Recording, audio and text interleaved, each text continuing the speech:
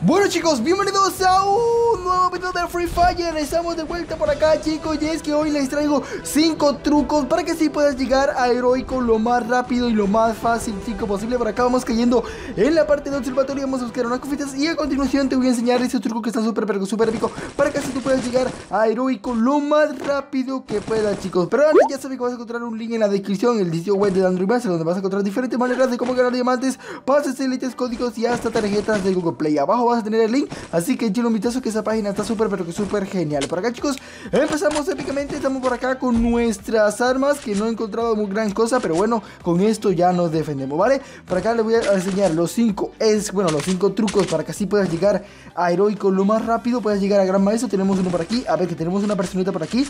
A ver que lo tenemos aquí, creo que es un Joker Tiene la, como que los pantalones de Joker. Y bueno, como les decía que con esos trucos vas a poder llegar lo más rápido que puedas a heroico o al rango máximo hacer top global chicos top eh, heroico o gran maestro. Vas a poder llegar con esos trucos chicos que están super épicos en esa nueva actualización en Halloween. Se mira sería épico que llegaras ahora heroico. Si nunca has sido heroico pues mira esos trucos te van a ayudar a ser heroico y que mira mejor que vas a llegar a heroico ahora en la actualización esta de Halloween que está súper súper genial chicos el que no llegaron muchas cositas pero bueno es Halloween, chicos, y se respeta. Por acá tenemos muchas cositas. Y bueno, vamos a pasar con el primer truco, que sería el siguiente.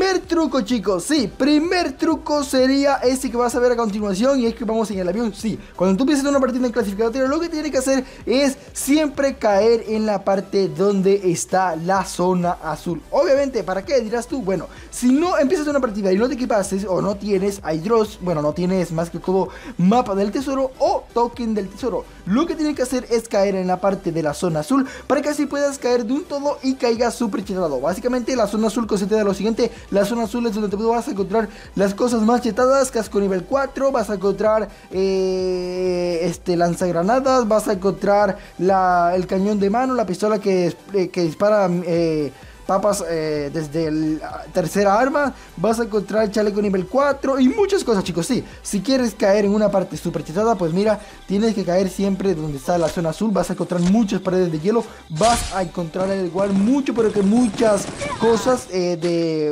obviamente de, grandes niveles y mucho equipamiento, muchos cascos, muchas eh, armas buenas, vas a encontrar mucho paredes blue, granadas, chaleco nivel 4, mucha, mucha casco nivel 4 de todo, Y vas a encontrar un montón de cosas que, bueno, vas a salir de esa zona azul cuando se va a cerrar en otra parte y ya vas a estar super sin necesidad de estar matando a otro enemigo. Esto lo usan los heroicos cuando no tienen mapa del tesoro o tocan el tesoro y así, eh, por eso es que tú los ves que empieza una partida y dices, wow, están súper chetados y apurado, está empezando la partida porque estos a ellos hacen estos trucos para así tener más equipación y tener más eh, para matar y eh, bueno ganarse a los demás obviamente ya van a, con un casco nivel 4 con un eh, chaleco nivel 4 pues van a matar tan fácilmente a uno que no tenga nada que ha caído por ahí y no hay buen equipamiento y ellos aprovechen eso para que así se equiparse bien y puedan matar a muchas personas. Está súper genial este primer truco que te recomiendo mucho que lo hagas al momento de que vayas en el avión. Bueno empezamos con el primero que es desde el avión y bueno vamos a pasar con el siguiente Namaste.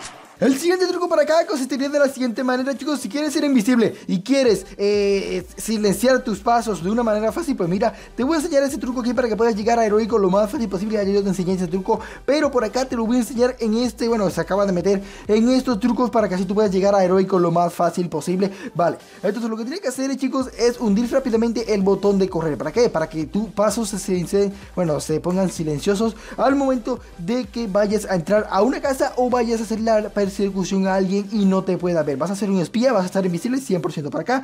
Lo que tienes que hacer es hundir rápidamente, rápidamente, rápidamente el botón de correr. Y así vas a buguear el juego y los pasos no se van a escuchar. Vas a estar moviéndote no de tan rápido como si fueses corriendo, pero te vas a estar moviendo de manera como que más de estar caminando y de, bueno, agachado te va a silenciar los pasos también, pero no vas a ir tan rápido. Y que mira, por acá si tú lo haces de esta manera, como estás viendo que hundes, subiendo escaleras, hundes rápidamente eso y momento de que tú llegues hacia la parte donde está tu enemigo que no te ha visto, te agachas y ya vas a poderle llegar fácilmente. Aunque a veces tú vas a tener la prueba de que vas a estar hundiendo, y se va a escuchar por ahí, por el ratico, se va a escuchar el paso cuando dejas de hundir y tienes que ser muy veloz. más veloz, vas a poder, eh, obviamente, eh, silenciar los pasos y que está épico, chicos, que te recomiendo mucho que hagas este truco para que así tú puedas ser un mejor jugador y puedas, eh, y puedas hacer persecuciones muy épicas e incluso troleos y todo lo demás. Que está súper genial este truco que te recomiendo mucho que lo hagas, practícalo, que todo en práctica se maneja muy pero que muy bien, ¿vale? Sí, lo tienes que hacer en modo clásico primero y después ya te puedes pasar al modo de eh, clasificatoria y ya vas a ser un maestro controlando todo esto. Así que sí, vamos a pasar con el siguiente.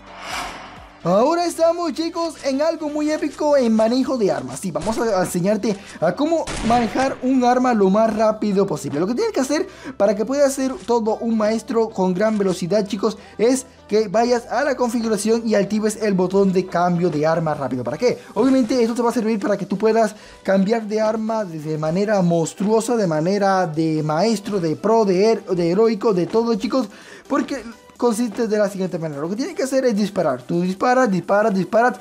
Y al momento de que tú veas que ya se te están acabando las balas, de manera que tienes que cambiar de arma automáticamente, rápidamente, para así seguir disparándole a tu enemigo, porque si no se va a adelantar y te va a matar a ti fácilmente. Lo que tienes que hacer es muy fácil de la siguiente manera, chicos. Tienes que disparar, disparar, disparar, disparar y cambiar de arma tú al momento de que cambies de arma, o sea que disparas, eso ella va a recargarse automáticamente. Lo igual que los trucos como yo le enseñé de la AWM, que era un truco de que si tú disparas con la AWM y al momento de que dispares y tú cambias de arma automáticamente, y cambias, bueno, y tú cambias de arma y coges la secundaria, la que tienes equipada, y vuelves a coger la AWM y ya va a estar chicos cargada sin necesidad de estar cargando los 3 segundos que demora para cargar. Entonces te recomiendo mucho que uses esto. Mira, por acá te voy a enseñar rápidamente. Mira lo que es.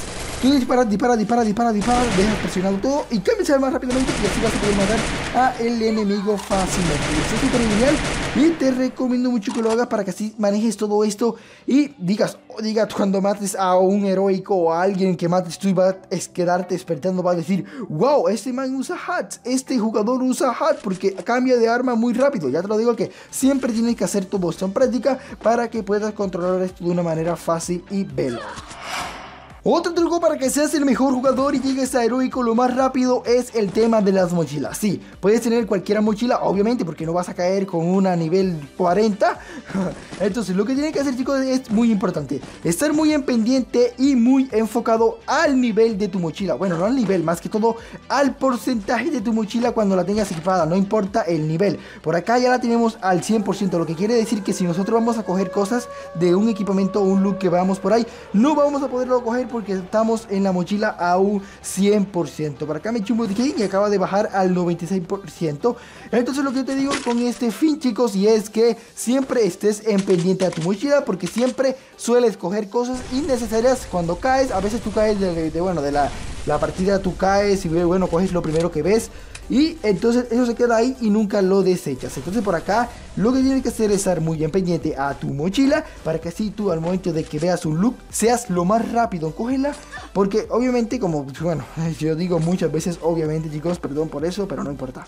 Entonces lo que viene haciendo chicos es que si tú tienes un, equipamiento más o menos y tienes la mochila al 100% y ves un eh, o un Draw, ves un eh, un look en el suelo, no te va a dar tiempo de coger lo que quieres. ¿Por qué? Porque obviamente tienes que em, entrar a la mochila, botar cositas que no te necesitan que tú no necesitas para que así pueda eh, equiparte lo nuevo que sí te va a necesitar. Si saben que lo que se les estoy explicando, pues te recomiendo mucho que lo hagas porque obviamente si eh, haces esto vas a ser más rápido al momento de hacer un un enfrentamiento, un look rápido y no te van a estar matando desprevenido porque vas a entrar a la mochila y botar cositas y así te pueden matar muy pero que muy fácil. Así que estoy con el fin de que tienes que botar las cosas que no te sirven en la mochila y tener siempre la mochila con un espacio para cosas nuevas que te van a mejorar la partida.